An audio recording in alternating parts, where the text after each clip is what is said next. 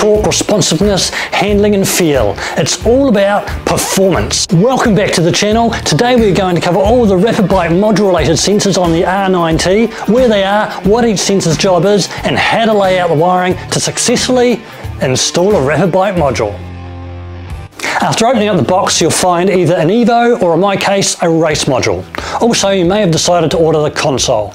Once you get everything out of the box, the first thing to do is lay out all the cables on a table and identify each one by its tag's sensor name. So once you've got your Rapid Bike parts out of the box, you'll notice there's a massive great big wiring harness. It's got three main parts. The central part connects directly into your actual module, your Rapid Bike module, and it's got a couple of other auxiliary connectors off to the side, which you only actually need to pay attention to if you've got something like a quick shifter or you've got like a Rapid Bike race module like I've got here. The only one you really need to pay attention to other than the main connection is you'll need to connect the negative terminal to the negative side of the battery.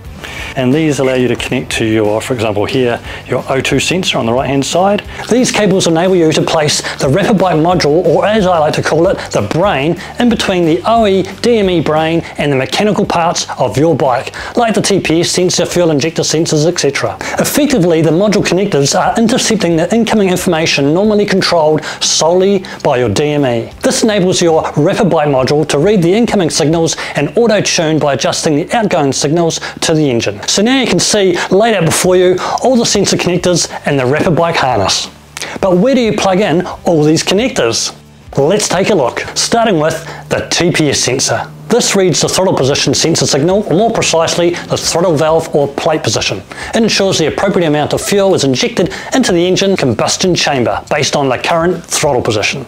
The relayed information is also used in adjusting ignition timing to ensure that the spark plug doesn't ignite the mixture too early e.g. before the piston reaches TDC, nor too late.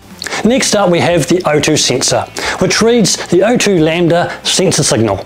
It measures the amount of oxygen in the exhaust gases to assist in calculating the best AFR, or the air-fuel ratio. It's made up of a ceramic element coated with a layer of platinum and zirconium. When the exhaust gases pass over this element, a voltage is generated which is proportional to the amount of oxygen in the exhaust.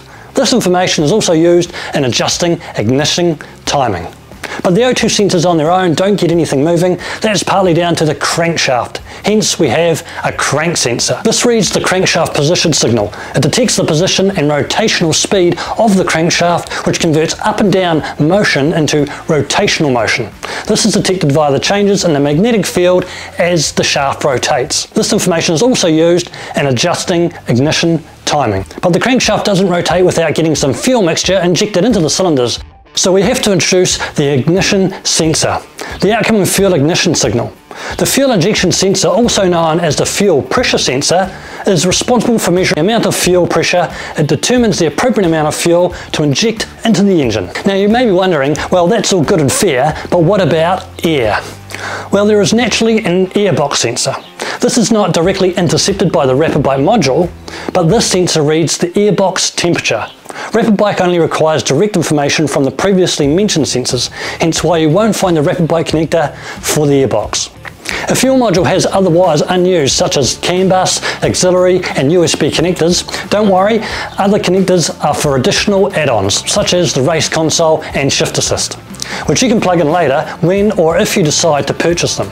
For now, just leave their covers on to protect them.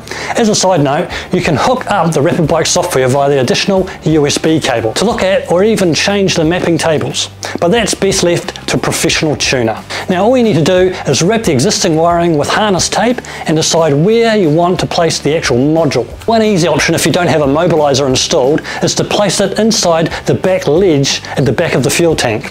If you have the race console, you also need to decide how you want to attach it where it's easily accessible.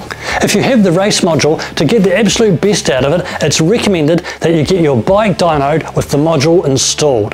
The Evo module, on the other hand, doesn't have ignition timing and engine braking management, so it doesn't require dynoing. It's simply a straight plug-and-play module, which is what makes the Evo a great purchase for street riders. I hope this has clarified some things for you and helps you feel more confident with your own installation if you're thinking of other performance improvements, then you might like to watch this video right here.